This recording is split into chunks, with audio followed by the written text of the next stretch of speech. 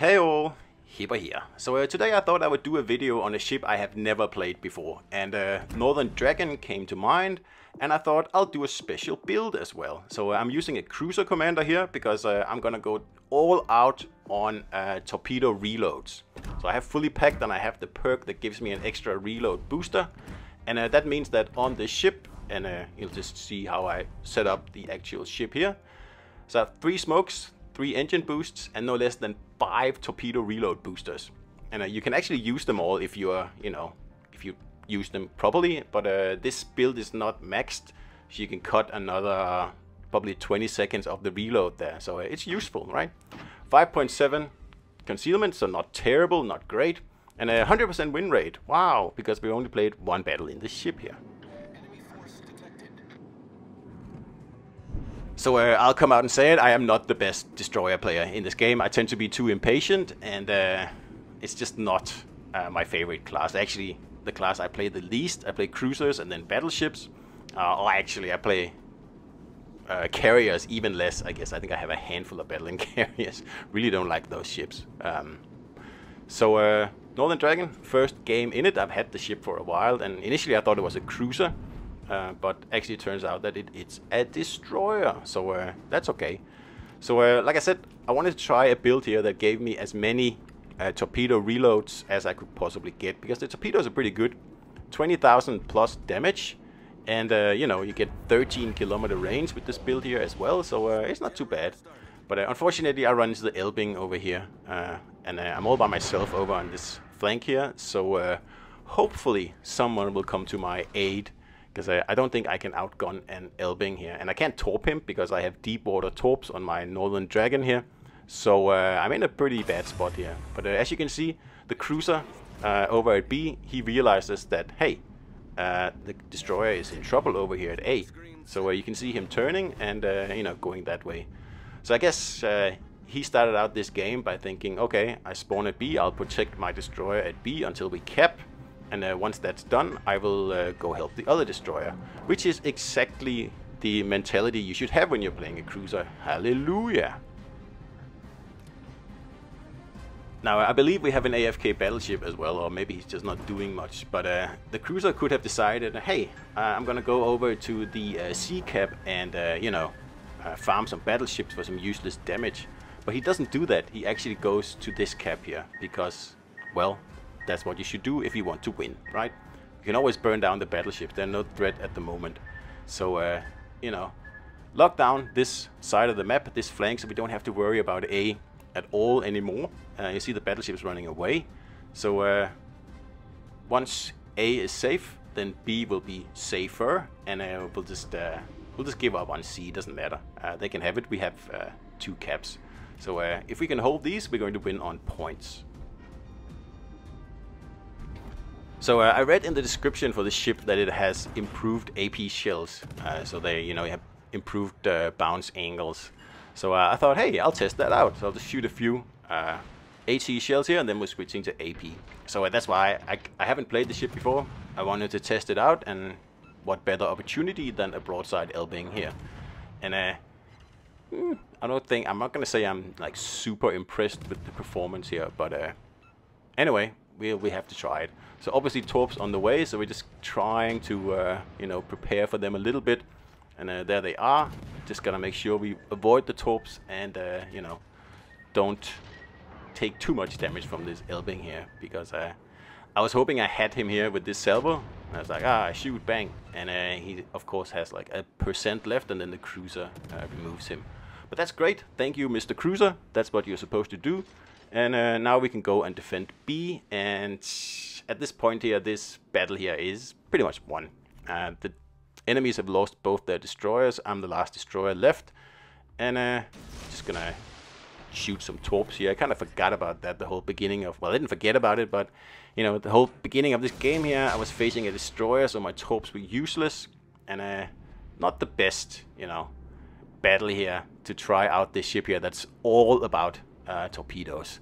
Well, not all about torpedoes. I guess I have improved fire chance on my guns as well, but uh, I wanted to try out, um, you know, firing as many torps as I possibly could, and it's not the best battle for it, but still fun. I mean, still an like and a build that I don't think many people run, and I, am not saying they should, but I uh, just wanted to try it out. So uh, as you can tell, our battleship over there on C flank, he's still AFK. And uh, that, that is happening a lot lately, and I, I'm not the only one noticing this. There's a lot more AFK players in the game, especially at higher tiers than, had, than there has ever been before. Um, and this guy is like, I don't know what's going on here, because he actually joins the battle uh, in about a minute or so. Um, of course, like way too late to have any sort of impact on this uh, this stuff here. So uh, yeah, it's just annoying. So like, if you're going to play World of Warships Legends, can you you know plan ahead for 15 minutes? That's it. That's all it requires, and uh, hopefully you can. So uh, all we got to do now is hold the B cap. You see the Kansas is far too far away to be of any like use in this game here. It's a very slow battleship, and uh, he won't be able to do anything in the last 8 minutes really because he has to sail all the way in and it's going to take forever. So these two guys here moving in and because we had an AFK battleship over there, both the battleships have survived over here at C. Now uh, in you know a normal game that should have been only one battleship, if any battleships. But uh, in this game here, of course, both of them have survived at full health. and uh, so uh, what we got to do here is just defend the cap, really. Uh, of course, if we can torp them, it's nice, but uh, I am an awful uh, person at torping in uh, destroyers. Much better at it in cruisers, but uh, destroyers, nah. Uh, I like my guns. So I'm just gonna smoke up, and then I'm going to reset these guys here, because I don't want them to take the cap. And I also left the cap so they don't know where I am. Of course, they know where I am now because I smoked up. But I didn't want to stay in the cap and pretty much give my position away. So uh, just just sitting outside the cap.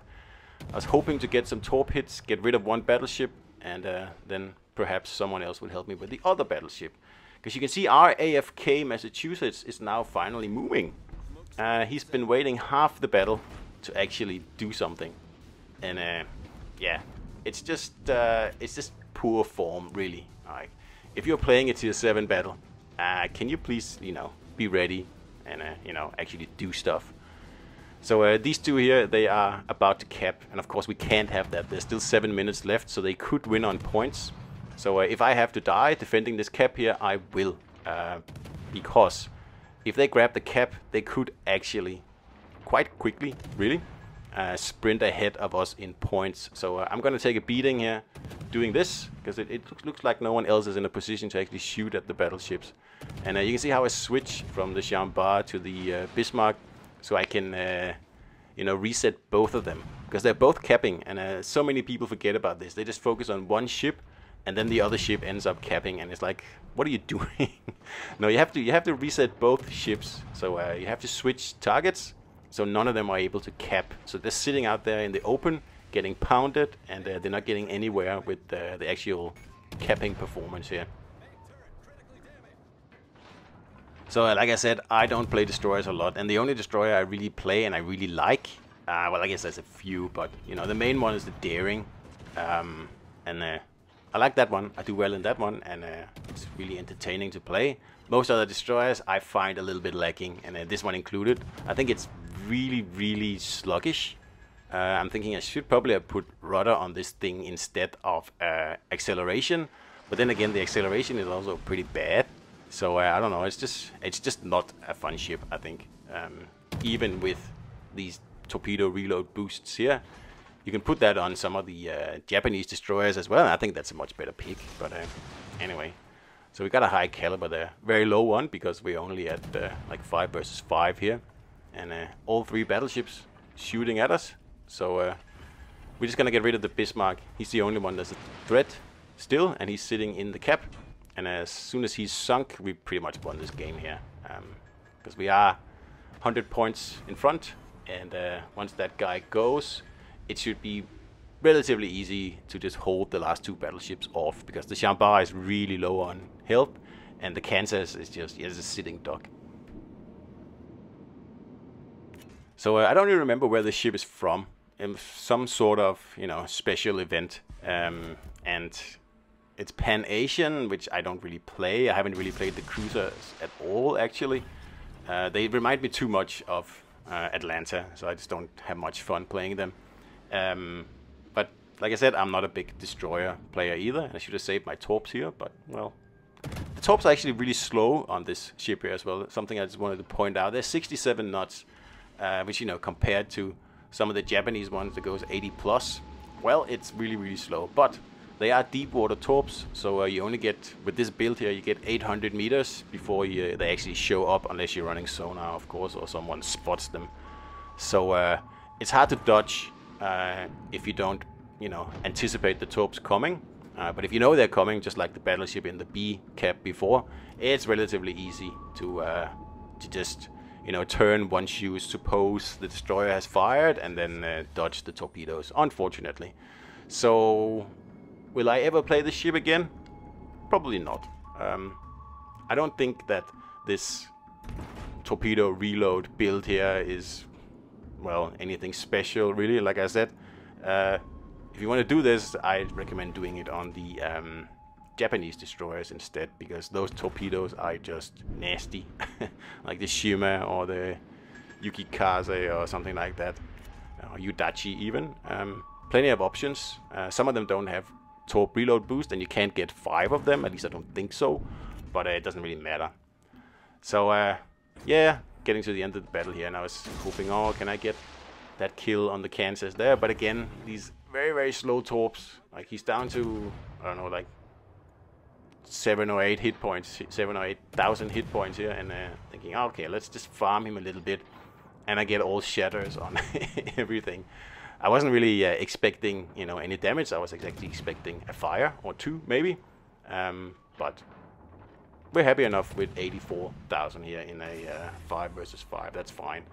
The torps are on their way, but uh, I'm kind of guessing here when I was playing the game that someone is going to kill this kill here before me because it is just a matter of time and uh, my torps are too slow unfortunately but uh, that's the end of the battle and that was northern whatever destroyer here with uh, you know a full torpedo reload build with a cruiser commander. Ooh, so uh, fun? Yes, sort of.